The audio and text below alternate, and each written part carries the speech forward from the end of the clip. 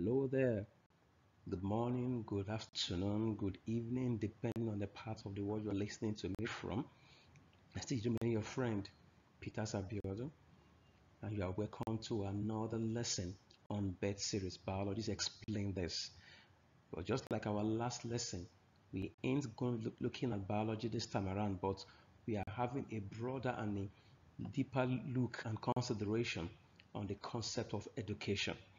Okay, so we want to look at education from the point of view of what it is or should be designed to do. Now, let me say from this outset that um, I'm not going to be pretend like to be an expert in this presentation, but having been in the system for about 26 years plus, and having three sons in the system who are undergraduates, I think I have some idea and experience and knowledge to say something about what I have experienced and what the students I'm having to teach what they go through. I mean, like I said in last lesson about what school won't teach anyone. Schools won't teach because schools ain't designed to address those issues. There are curricular set modalities and things like that, models, syllabi. You just follow the routine. So it's like routine there. So you, if you expect anything to change, it's it's not going to change any soon. You need a vibrant and a, a very exemplary person, a personality in that sector who is in government or who is influential to change things. So we want to look at the perspective to education and what every one of us who is in that sector, in the system, should expect. Of course, those of us who are directly involved as educators, we have a lot of work to do to help our students. There ain't going to be any teacher if there are no students. Students are the reasons why we still exist as teachers, and schools exist because of students. So we should be looking towards changes that will engender and foster excellence among our students, not, not only for the sake of passing examination, but being able to cope outside the four walls of a school or any kind of um, environment that has to do with normal, regular,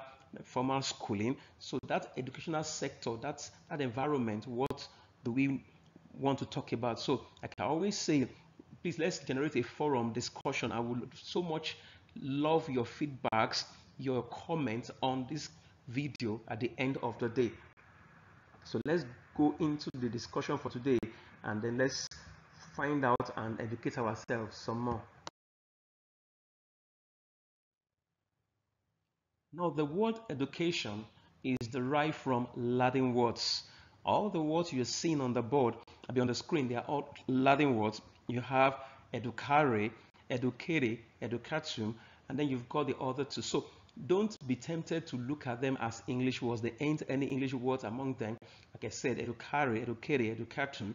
They are all talking about to look at what they are supposed to mean, to bring out, to nourish, to lead out okay the act of teaching pedagogy. And so if education does not bring out anything all if if all education does is to just pump into and stuff and stuff then from this outset from this introduction we can begin to ask ourselves the, the education that we run in our nation our state is it geared towards bringing out what is deep in the psyche in the mind of, of the students? Is it lead them out of ignorance into understanding, in, into being deep, into being high, okay, high and lofty in their mindset, in their reasoning and their faculty. So let's so as you consider those those definitions of what educare, educare, they are all supposed to mean. It's supposed to help you and I to understand perfectly what education should be designed to accomplish in the minds of the students.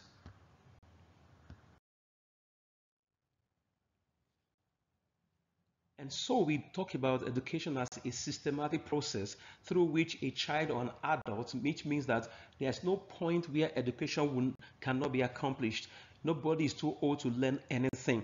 Okay, they always say that um, if you stop learning, you start dying. The brain grows the more, the more you learn, the more your brain remains vital and uh, and agile. So your brain will keep being able to process stimuli and information if you keep firing your, your brain with knowledge. It's often said that um, aging can be slowed down by constant learning. So it's expected that no matter your age, you should keep learning because when you learn, you acquire knowledge, you gain experience from other people's life um, experiences and things like that. And then, of course, you get skill because knowledge is power. It enables and empowers you. And so you should have an, an, attitude because education should open. If you look at the low, the right the lower corner of, of the screen, you will see book and you see Bob there. Education is supposed to enlighten, open the mind. Somebody said the mind is like a parachute, okay? It expands when you feel it. So when you feel a balloon, a parachute with air, it expands. So let's try to expand the scope of our reasoning as we go on. And so for education to, or educare, to have any meaning whatsoever, to make the right kind of impact, we should not raise informed robots who are just mechanized, programmed to think in a particular manner. Meaning, if it's not like this, it can be like this.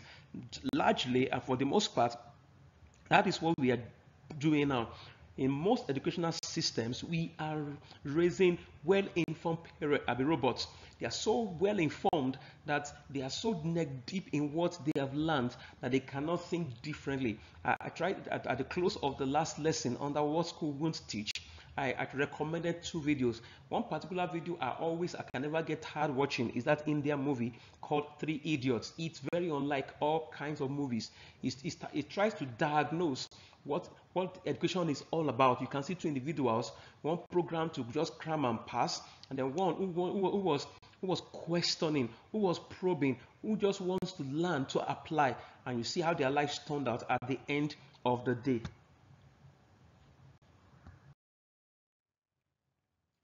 So let's look at five reasons education is so vital because education is so important to be educated. It's not um, this is not to disparage education, but the point is to try to and to, to, to revamp it, to try to re-engineer the sector in a way that it can make the right kind of impact, not just garbage in, garbage out. It should, it should promote reasoning. It should, it should promote deep thinking. In other words, critical thinking should be what should be. In other words, we should begin to help our students to think critically, so that something in them will be we begin to bubble forth and be, they, will be the best they can be. I mean, if you look forward to a class where students will challenge the teacher, okay, we had, the student will come up with new ideas and the, the teachers will be forced to go and look beyond textbooks and search further. Because if you're not careful, the, the teacher just uses the same kinds of textbooks, the same kinds of notes that he or she has been using for a long time and just keeps pouring out the same stuff without any improvement, so to say. And so there should be self-dependency, meaning you educate the child to be able to reason and form his own idea and be able to ensure that he understands not just not just not just pouring out what has been put in him or her and then education should build the confidence of the child. The moment you begin to have a structure where like, the child loses confidence because of grades grades can create a caste can create a, a, a, class system where you see the, the good and the bad. I know in some schools they have what they call commendation list, and there's this rat race where everybody is trying, even parents even put pressure on their child. I've seen many, many children, many students come and tell me confidentially that they just passed examination. All they did was just cram overnight and just somehow they, they, got, they got lucky and they passed. So passing an examination does not actually mean that you understood what you learned does not mean that you are better than those who have lower grades. So your confidence will be built because, because you didn't just learn, you understood, you comprehended, and you could apply what you have learned. And so you can begin to look at the world from a broader perspective beyond the four walls of the school. And so the human race can be better. Everything that man is enjoying today, it came from some people who dared to challenge the status quo. They tried, they tried to believe that things can get better. Just look at the Wright brothers with what they did the first aeroplane, the first, um, the first bulb, the first car, the first automobile, the first of everything came from a probing mind, a mind that refused to accept the status quo, believing that something better. That is what education should do. Open the minds of the students, whether you are young or old. And we look at another perspective to education, okay? There is the intrinsic part, meaning something that you are born with, the natural tendency and ability. Sometimes school suppresses the child's natural tendencies and natural abilities because the child is programmed to just do things a particular way, raise in a particular way. So the intrinsic can be destroyed and the child loses its own identity. And then if the child is helped, the child can become instrumental to change in to engender and foster and bring forth a better society. So if you look at that chart you're looking at on the screen, individual possibility should translate into individual efficiency. If you raise individuals who, are, who, who, believe in themselves, they can change the society for a better. And then you can have social possibility because a better individual on his or her own is, is a better part of the society. And so social possibility should also translate into social efficiency. The more people that we are transforming and changing and helping in their mindset, okay, the better the society will be. We will not be raising monsters who are just intellectuals but cannot. All they do is just they are programmed to reason in a particular way. They are not flexible whatsoever and they are not adaptable. So let's look at education, how it's been described by experts or some kinds of people, okay, from researchers. So it means that what education does is that a reality just hits you. A reality, a kind of realization just came at you. You just woke up suddenly. I mean, just imagine reading a text in fact, there are some things that you will read that will come alive, and then you begin to wonder, wow. I mean, there are some, some things that you never that you have been seeing, but you never understood why or how. Suddenly, from books, from being informed, because what education should do is to inform and enlighten okay to lead you out of ignorance okay and open your mind's eye and you begin to see differently and so you can begin to question things, whether they are cultural or religious or, or your own personal uh, idiosyncrasies, you begin to probe. So all kind of obstacles because there are, there are obstacles that can limit the, the growth of the mind of an individual. They can be economic, the kind of family you came from. If your parents can't afford books, they can't afford some things, you'll be limited. Socially, who are the kind of people you relate with? You can be limited by your social placement. And politically, if you have leaders who are not visionary leaders who don't understand the essence of education they will run things aground. They will just run things anyhow. They will run things by routine. If you remember if you look at the story of toyota and honda in japan how they how, how they came up and how they have evolved. The hyundai series for example the kia i mean those things came they, they came and they are still coming from an innovative mind. Once you educate somebody else, you begin to create new things out of what seemed ordinary.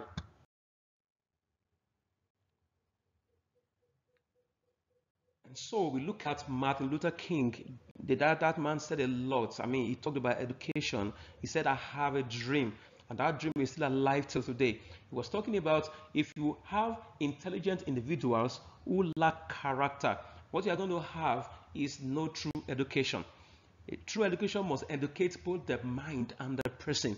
You can educate individuals. I mean, we have seen individuals who want to learn computer science just to be able to hack into systems, just to show that they can, I mean, they, they are proficient in what they've learned. They want to learn hacking. I mean, many things are going on today. You see, biochemists who are trying to produce generic drugs that can help athletes to cheat. You see all kinds of things going on. So people are being educated and then they want to learn particular skills or abilities or knowledge for the for the wrong kind of reasons. So here we have Martin Luther talking about the fact that intelligence plus character that is true education. Remember the theme of our discussion in this lesson is what is true education. And to discuss education, we can't delineate education from the concept of intelligences because intelligence has been either overrated or underrated depending on the perspective and the background the listener is coming from. Now, from the point of view of psychology, we have four kinds of intelligence. Now, we've got the IQ, which is very common. Everybody talks about IQ, IQ, IQ, and things like that. And then we've got the emotional quotient, which is not often talked about, but we have we just we will discuss and broach the subjects in this lesson. And we've got social quotient, and lastly, adversity quotient. Now, on intelligent quotient, IQ, is a measure of your intelligence, how you can process information, how you can pass examination, memorize stuff, and recall lessons, recall names, recall graphs, recall movies. So your intelligence, how much you can store, how much you can reproduce, how much you can show, those things. So, in other words, this is mental in nature. Intelligence quotient talks about your mentality. Your just it's just about your mental ability, your mental proficiency. It doesn't tell us. That's why you've had some some people who are intellectual, but they are monsters. I mean, you can see those who some people have raped, some people have killed. So all kinds of things are happening because people can be intelligent and use their intelligence for the wrong kind of purposes. And then emotional quotient. Now, everybody needs to be stable emotionally because sometimes things don't always go the way we wanted them to be. Now, this is a measure of your ability to maintain peace with others, meaning you have to have good relationship with people. And then not only that, you have to do some things, okay? Because you can be emotionally sound or emotionally down. So I mean, when you show responsibility, either as a spouse or as a teacher or as an employee, an employer, and things like that, in every kind of relationship, how, how, how do you relate with other people? Do you respect other people's boundaries, other people's privileges, or you just insist on your own rights? You have to be right all of the time. So, emotional quotient talks about how you can ensure you keep your relationship. In other words, consideration for others, other others, other people's um, opinions, other people's own mindset. You can't be right all of the time. You have to understand that nobody has the, the, the, the ultimate knowledge on in everything. Nobody has the supremacy. We all are ignorant one way or the other. If, if you're a math professor, may not be that good in English, may not be that good in psychology or other thing. You are a professor of that area that you majored in. So respect other people. And social quotient here this, this, the society talks about the different individuals relating with one another. Now, this is a measure of your ability to make friends and sustain friendship. Remember, it's different from emotional quotient. We are talking about how you how you how you how you feel. Okay, that is emotional. How you feel about other people. Oh, you are wrong. You hurt me. You hate me. You don't like me. That's emotional. But in the society, how do you fit into? In other words, if you are good academically, do you relate with other people who you think are not as good as you are? That's social quotient. Because you are rich, you don't relate with those you think are poorer than you, or you, are, you think you are fine, and you look down on. So, social quotient talks about how you value other people, how you respect other people.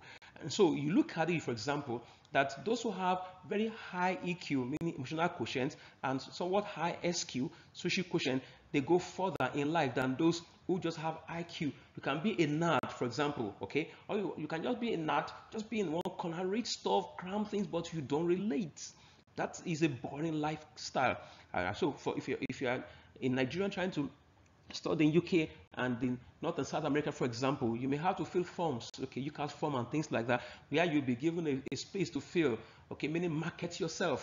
You call it open reference, meaning why? So the, the form is saying, okay, so the admission officer in that college you want to go to, that university is asking you, why do I want to give you admission? So you got A star, of course, what the hell, you got B and things like that. They are used to grades. But imagine there are many people who gain admission because they can play football. They've got skills. They, they, they I mean, they, they've been, they do social work. Okay, so they've done social work, they've been in the hospital, they play key drum, drum set, eh, they are cheerleaders. I mean, some institutions value social quotient how you relate because when you're in a foreign land how do you cope for example? Life is not just about books. Exams will come and go but when you step out you're going to see all kinds of people. Some will deliberately make you very angry. Some will piss you off. Some will just irritate you.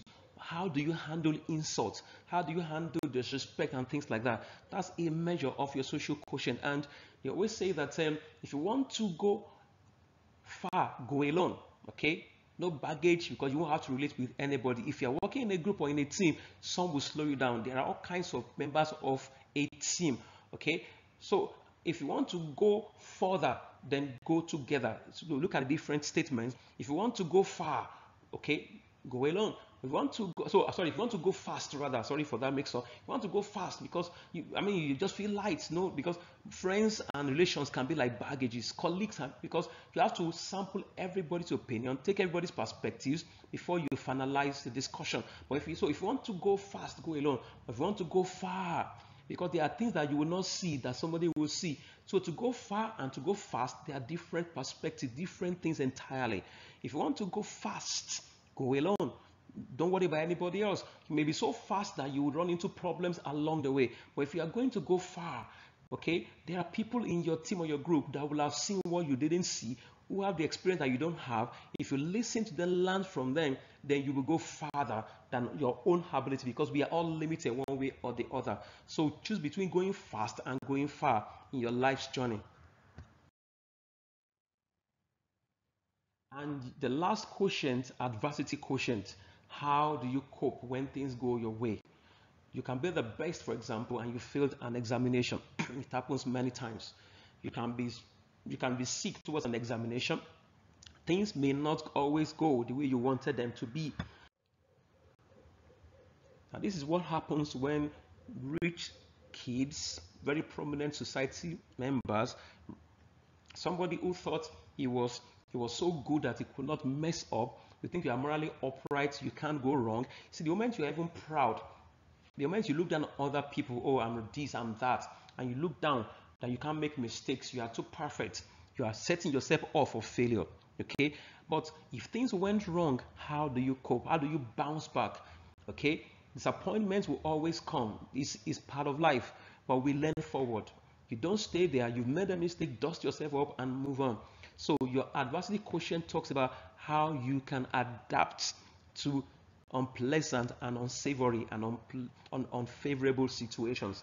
Everybody has to do that.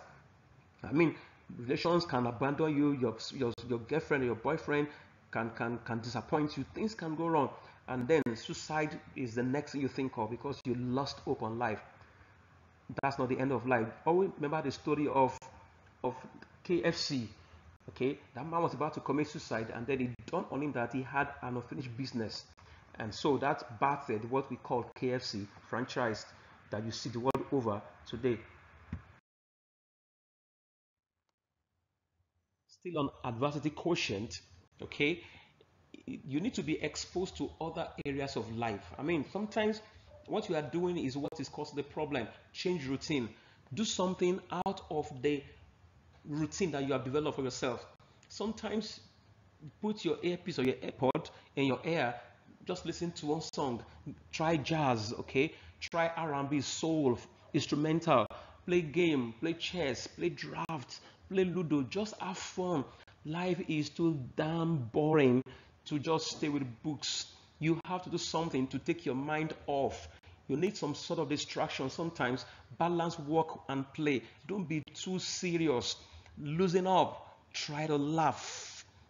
It doesn't cost anything to laugh. If a laughter and smile, they are damn cheap. Cheaper than your pies, your pizza. It's so cheap to live, so cheap to smile. Try to imagine. Some people are so serious they hardly smile.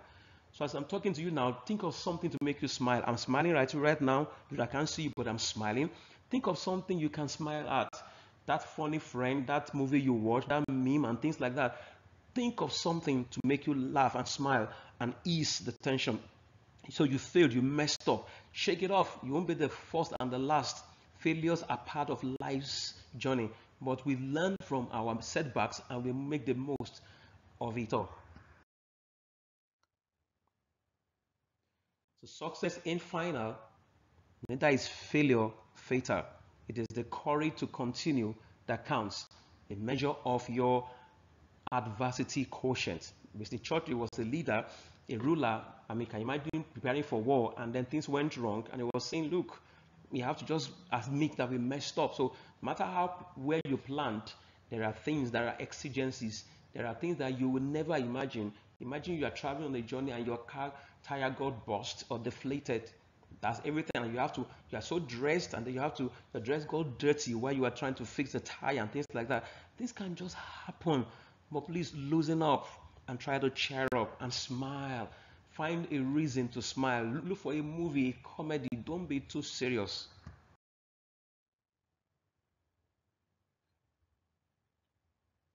And so, because of the pressure of the rat race in the classroom to score the highest mark, get the, get all the awards, people have lost their lives. People have lost friends. They've lost their emotions. They don't feel anything anymore.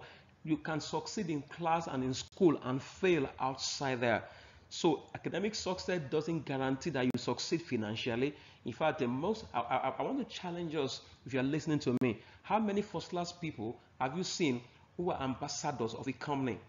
In Nigeria, where I stay, for example, I want somebody else to comment. I, I would like to hear that. How many first class graduates, the best graduating student of a university who was an ambassador for MTN, Globacom, or Airtel, or any brand like Coca-Cola, is athletes, is it's musicians that you see. Okay, I mean, you, you can you can imagine after all that sweat and labor, nobody in the educational sector is seen as worthy to be the face an ambassador of any brand in the society, not Coca Cola, not Pepsi, not any telecom service provider, nothing.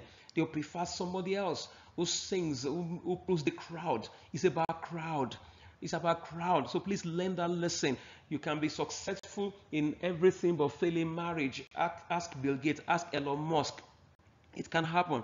And so you may not be fulfilled, even though you have the best of degrees, you have all the degrees of life, you can still be unfulfilled and you may not be properly integrated because you've lost friends, you've lost your spouse or your children and things like that because you were down too busy focusing on what you were studying and you forgot that life is still waiting for you because after the everything is over you can't read forever. Who is there to catch you when you fall? So we are into what is referred to as the fourth industrial revolution. In fact, there's a fifth one evolving now.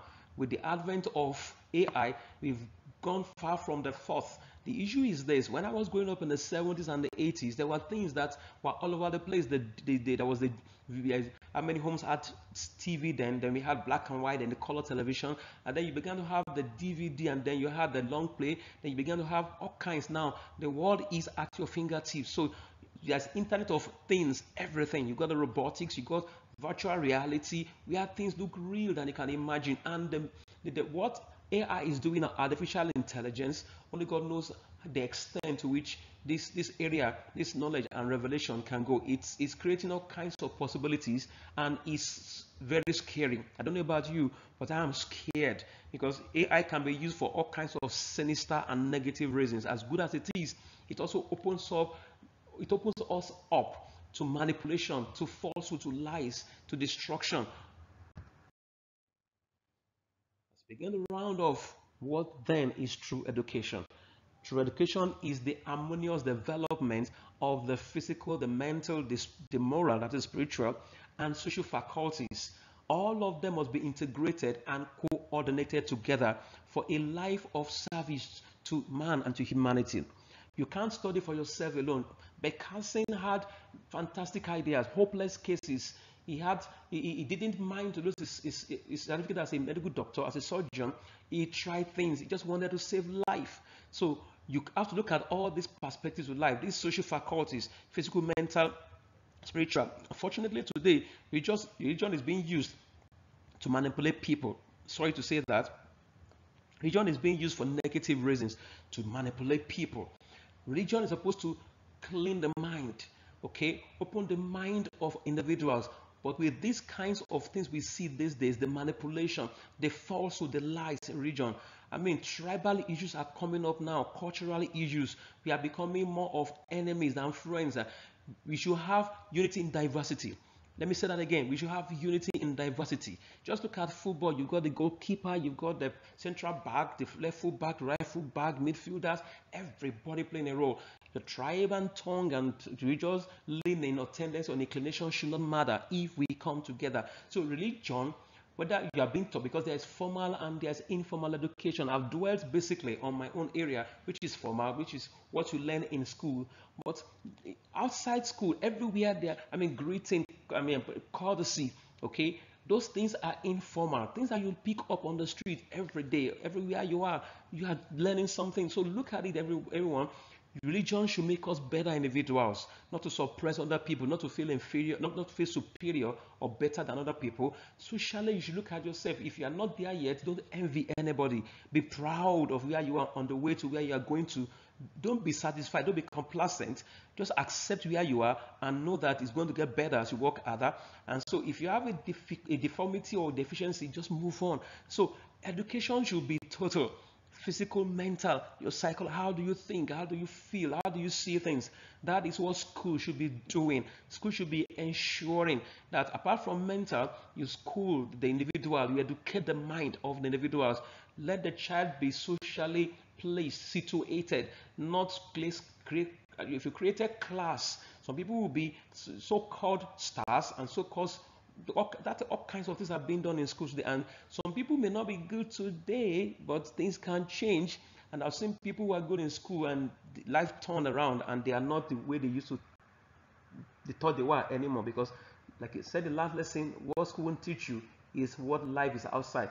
The rules in school are entirely different from the street rules. Street rules are wild. They don't respect anybody. Okay, so please understand that perspective as you go on with your life's journey.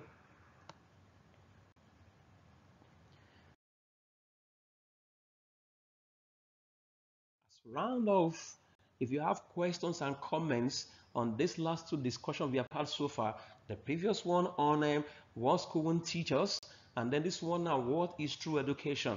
matter the school you attend, no matter what degrees you have, you still have to keep learning. And we have to work together. No matter your your your level we all have together to ensure that education does what it's meant to do to transform our lives. To, to harmonize all the social all, all those faculties of the human personality and make us all better.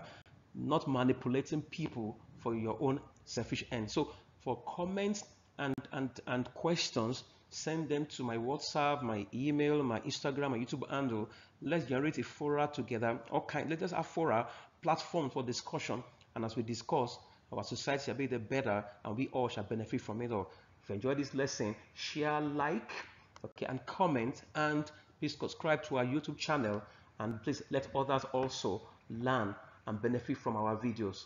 Thank you for listening. See you next time. Bye.